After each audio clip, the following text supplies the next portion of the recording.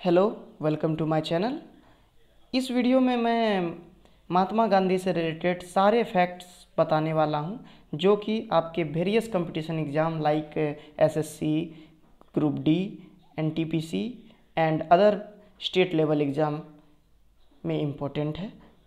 आप अगर previous year paper को फॉलो कर रहे होंगे तो उसमें आप ज़रूर देखते होंगे कि एक नंबर का क्वेश्चन महात्मा गांधी से रिलेटेड मिलता ही मिलता है। मैंने इस वीडियो में ज़्यादा एक्स्ट्रा फैक्ट ऐड नहीं किए हैं। सिर्फ़ और सिर्फ़ जो प्रीवियस ईयर में एग्ज़ाम में क्वेश्चन आया हुआ है, उसका मैंने संग्रह किया है और उससे रिलेटेड जो फैक्ट है, वो मैंने इंक्लूड किए हैं। तो आशा करूँगा इस वीडियो को देखने के बाद आप संतुष्ट होंगे और एक नंबर आपकी पक्की हो जाएगी, ये मेरी गारंटी है। आप चेक कर लेंगे कोई भी सेट मार के। चलिए शुरू करते हैं। इनका पूरा नाम मोहनदास करमचंद गांधी था। मोहनदास इनका वास्तविक नाम है। एक बार ये क्वेश्चन पूछा गया है कि महात्मा गांधी का वास्तविक नाम क्या था? तो मोहनदास। और करमचंद गांधी इनके पिता का नाम था।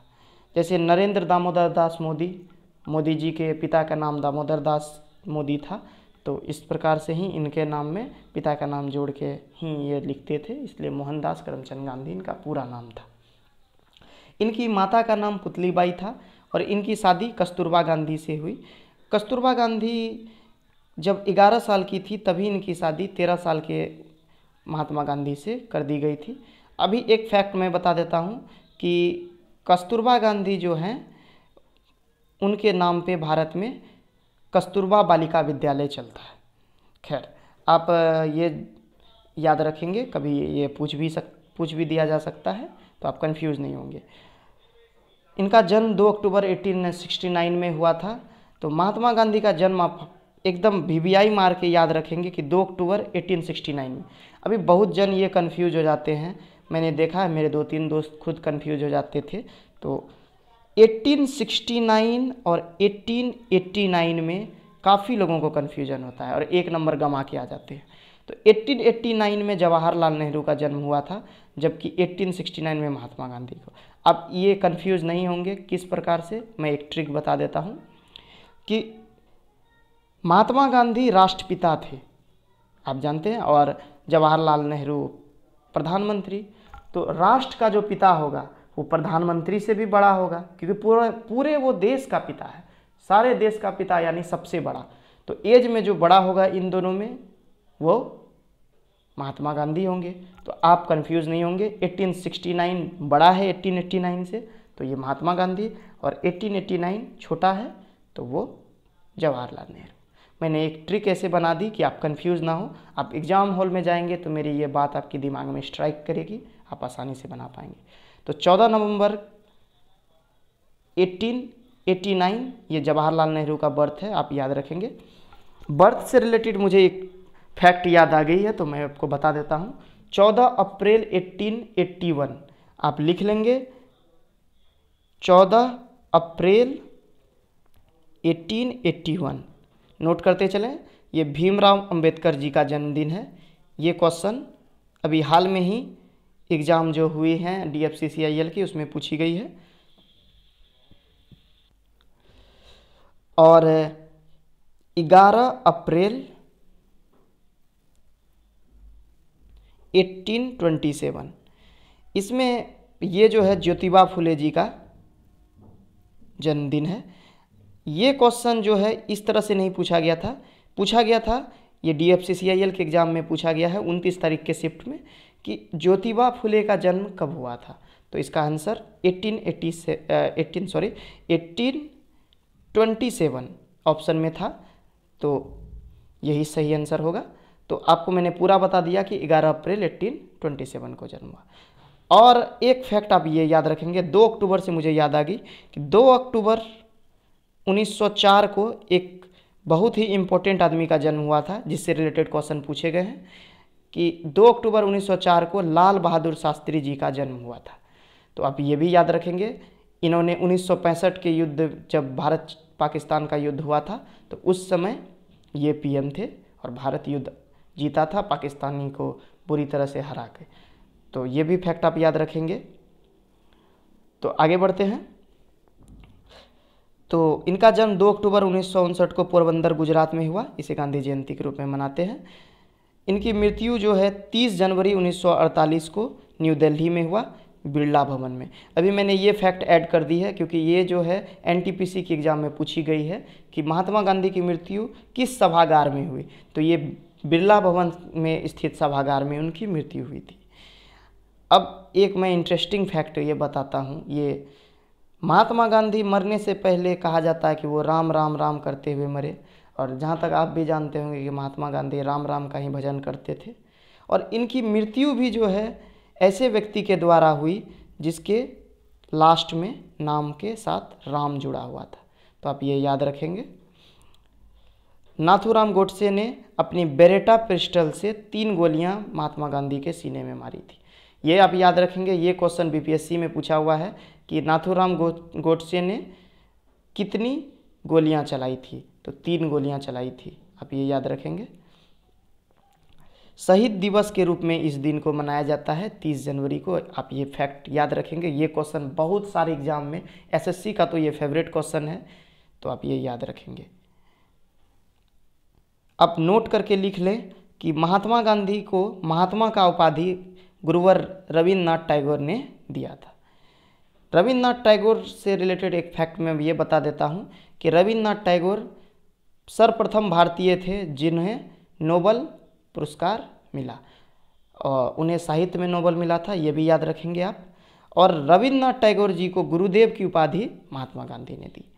अगला है इनको राष्ट्रपिता के नाम से सर्वप्रथम किसने संबोधित किया? तो राष्ट्रपिता के नाम से सुभाष चंद्र बोस ने संबोधित किया। इसके बारे में मैं एक चीज़ बता देता हूँ कि 1944 में जब आज़ाद हिंद फौज के लिए भारत में रेडियो से वो अनाउंस कर रहे थे, इसमें भर्ती के लिए तो उन्होंने महात्मा गांधी को राष्ट्रपिता कह के संबोधित किया था। इस समय वो रंगून में थे, जो कि वर्मा में है। अभी फ़िलहाल उसे म्यांमार के नाम से जाना जाता है।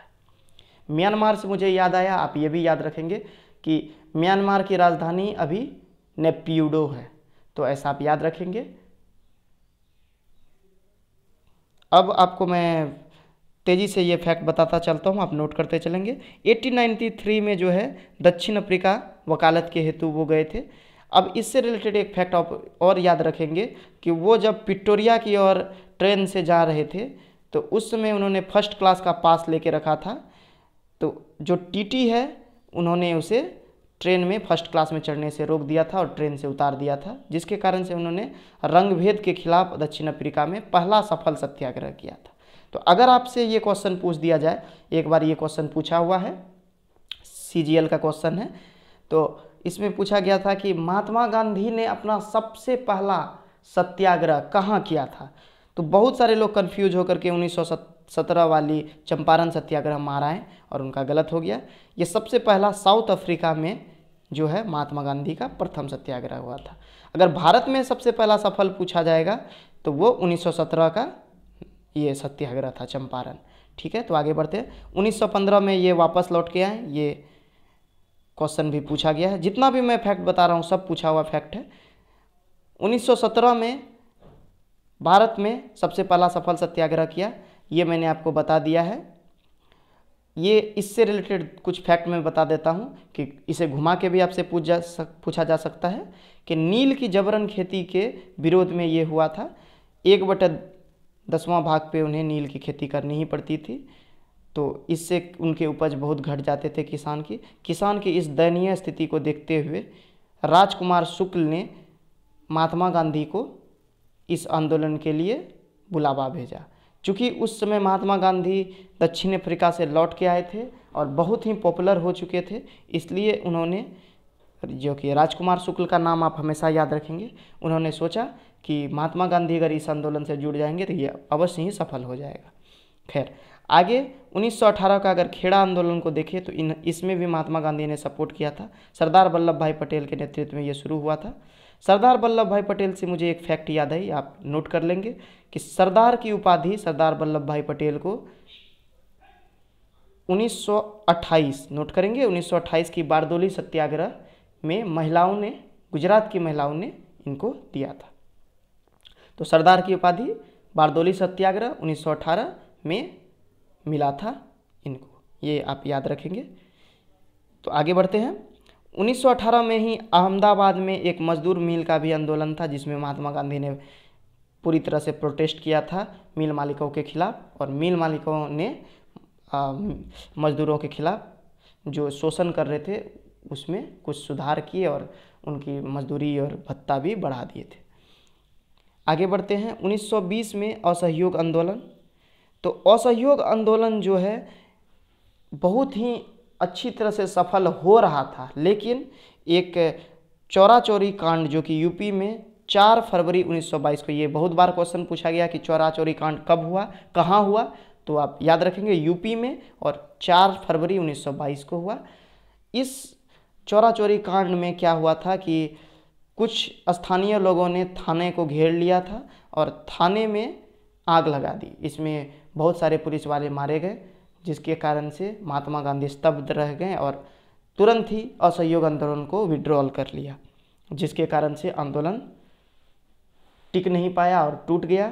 दो ही साल चला और ये आंदोलन असफल रहा और महात्मा गांधी को जेल में डाल दिया गया।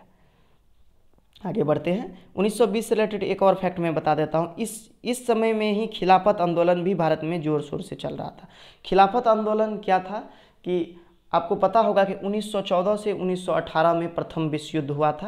आप नोट कर लेंगे 1914 से 1918 तो प्रथम विश्व युद्ध में जो है एक तरफ़ तो आपके जो मित्र राष्ट्र थे, उनकी सेना थी और एक तरफ़ जो है धूरी राष्ट्र की सेना थी। धूरी राष्ट्र में जो है कुछ प्रमुख नाम मैं बता, एक बड़ा नाम ओटोमैन एम्पायर का था। ओटोमान एम्पायर जो है अभी के समय तुर्की जो देश है, टर्की का नाम सुनते होंगे, जो भारत के खिलाफ काफ़ी बयानबाजी भी करता है, इसलिए सुर्खियों में बना रहता है।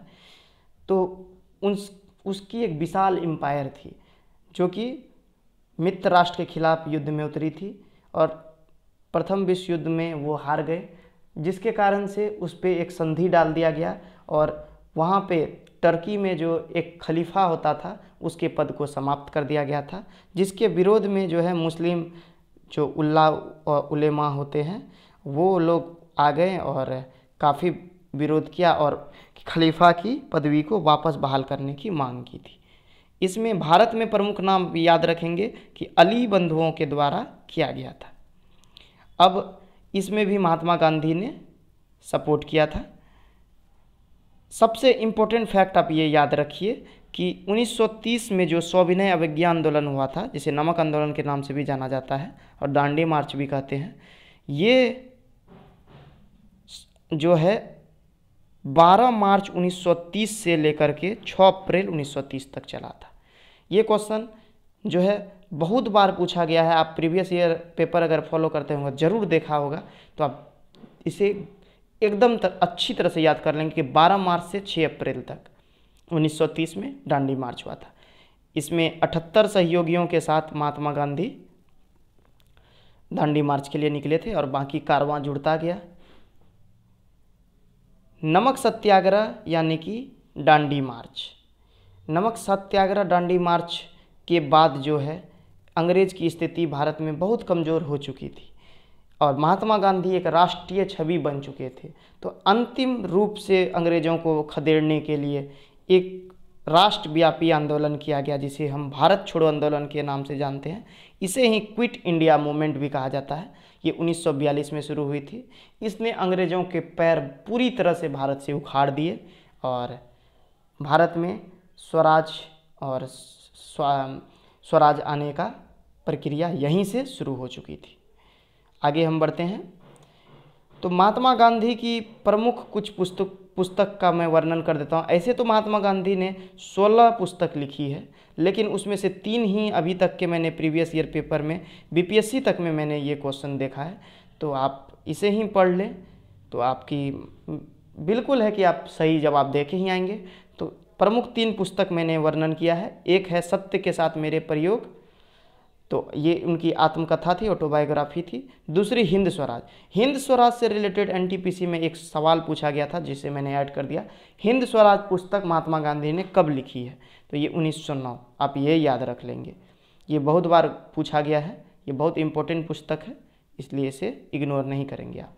और एक है स्वास्थ्य की कुंजी। तो आप अच्छी तरह से इसे नोट कर लिए। अब एक मैं फैक्ट ऐसे बता देता हूँ। आप इसे नोट करेंगे। कि विंस्टन चर्चिल ने महात्मा गांधी को अर्धनग्न फकीर कहा था। विंस्टन चर्चिल उस समय ब्रिटेन के प्रधानमंत्री थे। तो ये वीडियो में मैं इतना ही बताऊँगा। अगले वीडियो में मैं दूसरी फैक्ट लेके आऊँगा, जिससे आप आसानी से एक एक नंबर करके बूंद बूंद से अपने घड़े को भर पाएँगे। धन्यवाद।